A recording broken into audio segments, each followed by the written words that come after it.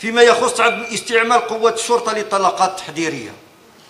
تساءل الرأي العام عن عدم اللجوء قوات الشرطة إلى استعمال طلقات تحذيرية خلال تواجدها في مواجهة الحشد الكبير.